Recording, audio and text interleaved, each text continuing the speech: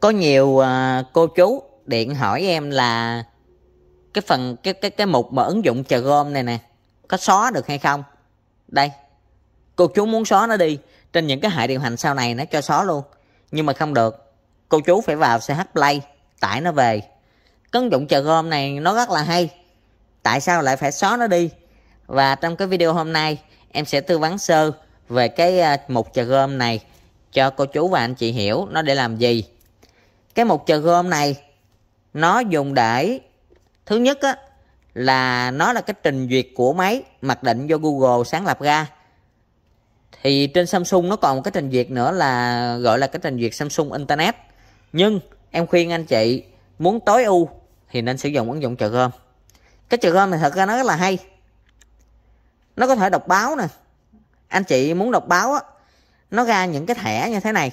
Thì anh chị bấm vô số 1 này này nè ở đây nó có bao nhiêu số cài nó, nhưng mà anh chị bấm cho cái dòng này. Tích vào cái ô này, gần cái dấu ba chấm, tích vào. Ở đây là anh chị đóng thẻ, anh chị có thể vuốt bỏ nè, xong anh chị bấm vào thẻ mới. Lúc này, mục chờ gom, trong ờ, trình duyệt chờ gom sẽ hiện ra một cái mục cho anh chị đọc báo thỏa xuất luôn. Đấy, rất là nhiều báo. Anh chị có thể xem đọc báo no nơi luôn. Và khi anh chị đọc báo nó sẽ toàn hiện ra những cái tin cập nhật mới nhất, rất là tiện lợi. Đấy. Toàn là những cái tin hot và tin mới thôi.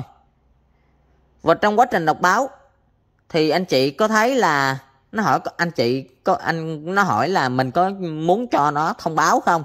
Thì mình chặn nó, đừng có cho phép. Không báo làm chi mình thích đọc báo thì mình nhảy vô mình đọc thôi, khỏi cho nó không báo phiền phức. Và trong quá trình mình đọc báo, nó xuất hiện rất là nhiều quảng cáo như thế này. Đây mình đọc một hồi đó là quảng cáo nữa. Nó hiện lên những cái pop up, quảng cáo liên tục. Và muốn chặn quảng cáo trên cái chờ gom này, cũng như trên một số cái ứng dụng trình duyệt khác, thì làm như thế nào? Thì trong video này em sẽ hướng dẫn anh chị luôn.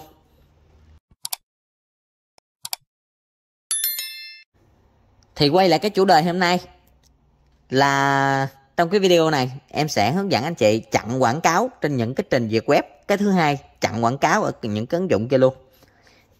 Thì anh chị làm cái ờ, cách này, nó sẽ chặn được quảng cáo rất là hiệu quả. Nhưng, quay lại cái phần đầu của video, em sẽ nói cho anh chị hiểu sơ về cái ứng dụng chờ gom này. Cái ứng dụng chờ gom này, khi mà anh chị đăng nhập Samsung account hoặc là anh chị cần xác thực, anh chị lưu ý, cần xác thực địa chỉ Google hoặc là địa chỉ mail hoặc là anh chị cần xác thực một cái địa chỉ như là địa chỉ của Microsoft là OneDrive chẳng hạn vân vân thì uh, nó sẽ bật cái trình duyệt chờ gom này ra cho anh chị uh, nhấp những cái đường link vào hoặc là nhấp những cái mail vào để xác thực. Nên cái ứng dụng này là một trong cái ứng dụng cực kỳ quan trọng trên chiếc thiết bị Android anh chị không được tắt. Thì nói sơ vậy thôi nói nhiều anh chị sẽ gói lên luôn. Với lại đôi khi cái cách diễn đạt của em nó không có đầy đủ hoặc là không có xúc tích khiến cho anh chị ờ, khó hiểu. Nhưng em sẽ ờ, chỉ cho anh chị vài cái mẹo ở trong cái mục uh, chờ gom này. Thì cái chờ gom này nó cũng giống như cái Google nhưng mà cái chờ gom này nó trình duyệt nó là một cái trình duyệt đầy đủ hơn cái Google chỉ qua là nó là một cái công cụ tìm kiếm để cho thằng chờ gom nó nó nó chạy trên nền chờ gom thôi. Chứ Google một mình nó thì nó chạy cũng không được. Nó nó chạy trên nền chờ gom nên anh chị lưu ý. Nên là cái Google này nó chính là chờ gom mà tách ra thôi, chứ không phải, chứ không phải là Google nó có thể hoạt động độc lập được nếu như không có chờ gom. Thì nhiều người nói là sao cái cái máy của anh, khi, nhất là mấy cái máy sách tay á, khi mà tìm kiếm đọc báo ở trong trong ờ, Google. Ví dụ như ờ, bây giờ em làm cho anh chị xem. Báo tuổi trẻ. Đấy thì bây giờ nó sẽ ra cái báo tuổi trẻ nhưng mà khi nhấp vô cái báo tuổi trẻ nó không chạy. Anh chị lưu ý một số dòng máy sách tay hoặc là anh chị không tin anh chị xóa thử cái trường hôm hoặc là cái trình duyệt web uh, uh, internet explorer của uh, của Samsung xem. Nếu mà không có trình duyệt nó không chạy. Khi mà anh chị bấm ra như thế này nè nó không chạy luôn đấy, nên là cái chờ gom này đối với anh chị là hết sức quan trọng. Và anh chị trong cái một chờ gom này nè, nó còn có rất là nhiều cái hay. Và nó có thể tìm kiếm bằng giọng nói trong nền chờ gom luôn. Anh chị xem. Báo thanh niên. Đấy, anh chị đọc. Rất là chuẩn luôn. Và quay lại cái chủ cái chủ đề. Và quay lại cái phần em nói là em sẽ hướng dẫn anh chị chặn hết mấy cái quảng cáo ở trên đây khi mà anh chị đọc báo. Thì đây, bây giờ nếu mà mình mình đọc báo một hồi, bảo đảm anh chị nó sẽ xuất hiện, nó xuất hiện một số cái quảng cáo để ờ, đấy, nó quảng cáo thấy chưa? Anh chị thấy nó quảng cáo rõ ràng. Thì em sẽ hướng dẫn anh chị như sau. Cách chặn quảng cáo. Đầu tiên anh chị vào một cài đặt. Thì điện thoại Android nào thì nó cũng làm na ná như nhau thôi nên anh chị lưu ý. Sau đó, anh chị bấm vào kết nối.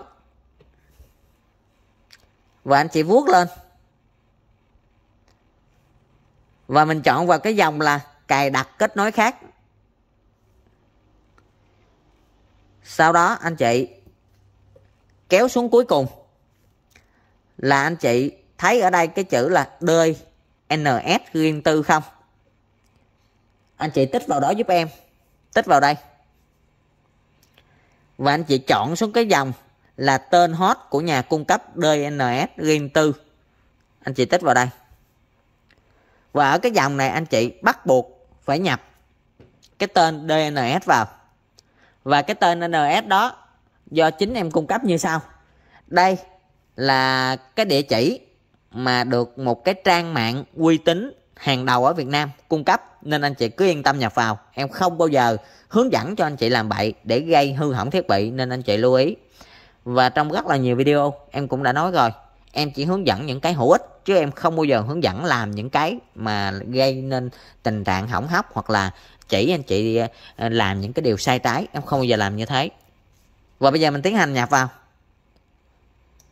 Thì ờ, anh chị tiến hành nhập như sau anh chị gõ cái từ là DNS DNS chấm. A D A D G, U. A e, R D chấm com.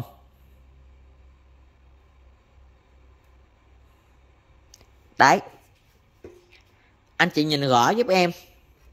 Cái chữ em viết rất là to.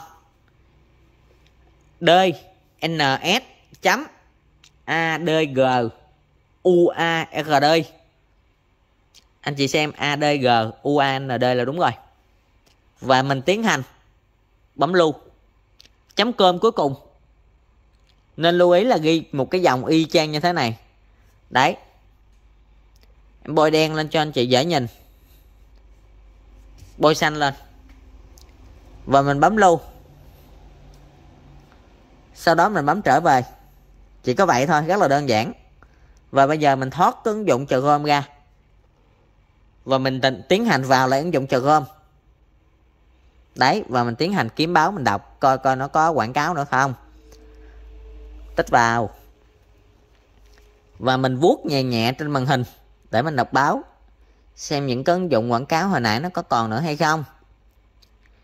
Thì uh, theo như tìm hiểu thì nó hoàn toàn nó sẽ mắc quảng cáo 100% nó sẽ không gây là quảng cáo phiền phức nữa. Muốn sử dụng học thông tin vị trí của bạn chặn luôn. Đấy và mình đọc cái báo khác. Mình đọc những cái báo này là những cái báo hot nên nó sẽ chèn quảng cáo rất là nhiều. Đấy và mình tìm một cái báo và mình tiếp tục, mình bấm vào. Cho anh chị xem. Không thấy quảng cáo luôn. Đấy. Đây là một cái mẹo rất là hữu ích cho anh chị nào thấy quá phiền phức khi sử dụng ứng dụng mà nó quá nhiều quảng cáo. Thì theo như chia sẻ của cái trang mà hướng dẫn cái cách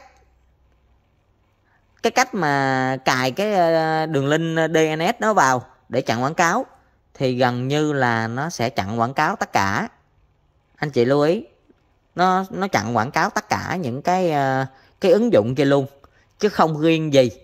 Nó chặn quảng cáo của cái cái nền này cái của cái cái cái ứng dụng trừ hôm này hoặc là cái ứng dụng uh, hoặc là cái ứng dụng báo uh, báo mới rồi uh, báo 24 giờ chẳng hạn vân vân và sau khi mình cài cái đường link đó xong thì uh, theo như em chia sẻ thì cái trang đó nó nó nó nói là nó sẽ chặn quảng cáo của những cái ứng dụng khác luôn. Thì bây giờ mình tiến hành bấm vào cái dòng chữ báo mới nè bấm vào đây. Ở đây nó hiện lên cái chữ đóng nè mình đóng nó đi. Đấy và bây giờ mình đọc báo mới coi nó có quảng cáo hay không. Thì những cái tin mà hot nó sẽ chèn quảng cáo vô rất là khủng khiếp. Anh chị lưu ý điều này. Thì mình cứ xem. Nếu như không có quảng cáo là thật tình là nó đã chặn quảng cáo được thật. Thì khi mà cái uh, nó chặn quảng cáo kiểu này thì những cái ứng dụng kia của anh chị nó sẽ hoàn toàn chặn quảng cáo luôn. Nó sẽ không có bật quảng cáo lên trong cái vấn đề mà anh chị uh, sử dụng điện thoại mà gây nên phiền toái cho mình đây anh chị đọc báo thoải mái, không còn một miếng quảng cáo nào. Rất là tiện lợi. Còn nếu như khi mà anh chị cài cái địa chỉ hồi nãy vào mà nó vẫn chưa chặn được quảng cáo thì anh chị thử tắt máy và mở lại xem. Thì video đến đây là kết thúc. Em mong anh chị xem và làm được ngay. Cảm ơn anh chị đã xem video và hẹn gặp lại trong video sắp tới.